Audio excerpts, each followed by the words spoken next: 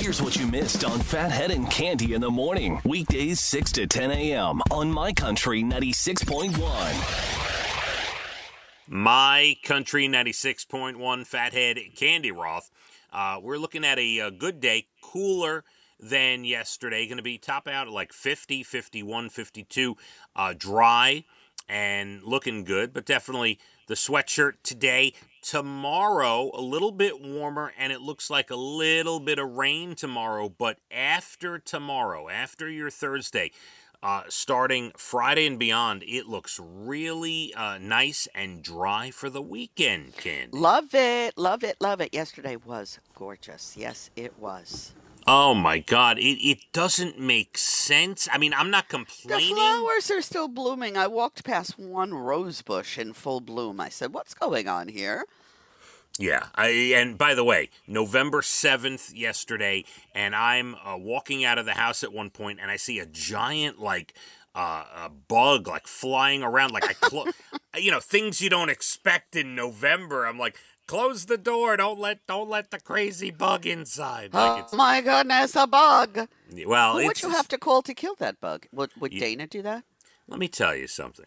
Uh, against my better judgment, I do kill the bugs in the house. Really, even the really big ones? Yeah, and what happens, and I think I've told you this before, but it's worth repeating.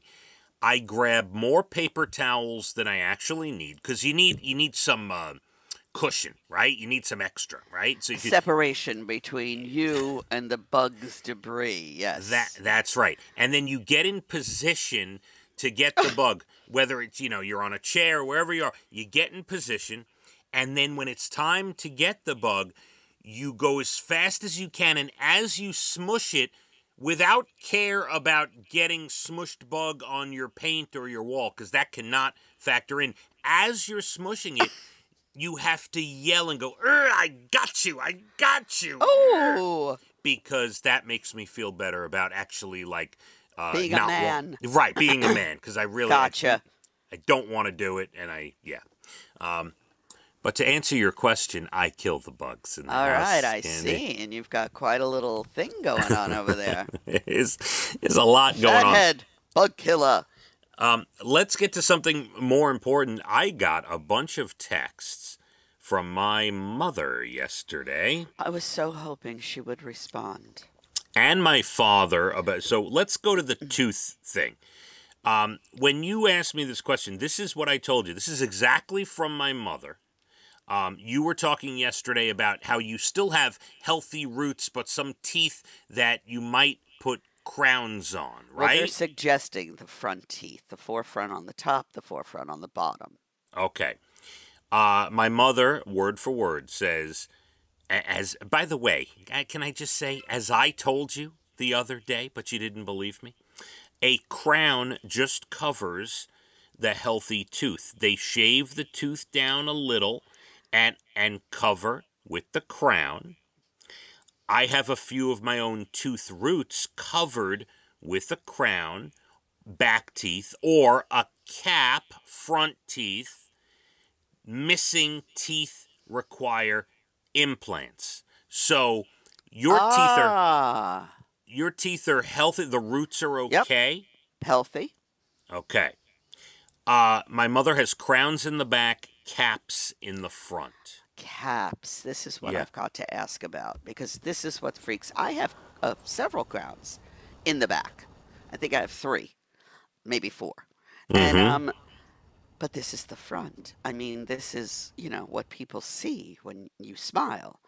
I already you know try not to smile with my teeth, but the filing down, I look at them and I'm like, they're perfectly healthy. They're gonna file, and if they try to rig me into doing some sort of root canal, uh, no, I am going to get a second opinion. And I appreciate your mother, and she really, really, really helped me. But you know what? I want a second opinion because they didn't say anything about caps. They said crowns. So Mhm. we've got to like really, you know, distinguish between the two. All Someone right. else said to me, "Wouldn't that be a cap?" And I agree. Why Ah. wouldn't they tell me that? Well, you you need to go question them, and if they don't know the answer, you go somewhere else. Well, I'm definitely getting a second opinion before right. I do anything. Now, to the other issue at hand, we were talking about Costco versus BJ's yesterday. Yes, we were. And you and, I both agree that we prefer BJ's. Right. Well, we prefer it for for a couple of reasons, and Right. those would be it's usually, except for holiday time, it's usually less crowded, Totally. and it's easier to find things because they actually put signs at the ends of the aisles. Yes, they do. I'm so confused in Costco all the time. Always. I don't know where to find anything. Now, we both agreed that Costco is always packed and BJ's not always packed. Not right? always packed. That's the pleasure of it. So my mother and father sent some statistics, and they're very good at their jobs. I love them. But let me. By the way, I, before I get to it, let me just explain. Middle of the day when they're listening to the replay of our show, which is up at licountry.com by about noon, anywhere between noon and about 3 p.m., I expect texts because that's when they listen and that's when they answer our questions. Um, my uh, mother and father both sent statistics. Do you know? Let's go to my mom first. She she Dare I say she could be a bit smarter than your father? "Cu- Dare I say that? dare he might admit that? Maybe. Would he? Admit Yeah, that? oh, I- she's I about the smartest person around. Let's I face it. I'm sure he would. Absolutely. Uh, I'll probably get a text later with him admitting that she's smarter. Uh, Costco has 60% of the market share. BJ's 8% of the market share. And by the way, the other 32% of the market share we didn't talk about, Sam's Club. Do you know I've never been in a Sam's Club? I don't even know where there is one around by me. So, so there is one uh, right next to uh, Target off the LIE. By the way, there might be more, but there is a big Sam's Club next to the big Target in Medford right off the LIE. I've never been. I don't belong uh, to Sam's Club. I don't Club. belong and I've never walked through the doors. I don't know what they have. Yeah, uh, Sam's Club has like give or take thirty-five percent of the market share. BJ's only about eight percent of the of the uh, of the market, and uh, so it was more than we even thought. As wow. a matter of fact. One to the parking lot is always full, no matter when you go. and then uh, my mother sent me this: Costco, throughout the world, has about 120 million card holders. Wow. BJ's, which is mostly East Coast, not across the world, has about 5.5 million card oh. holders. So well, big difference. Now we know. Now, look, if. I hmm. want to buy clothing, Costco. They've got Mm-hmm. great selection, no question about it. Their rotisserie chicken is better than BJ's for the Is it? price. Is it really? It's better. Yes, I think Okay. it's better than BJ's. Same All right. price.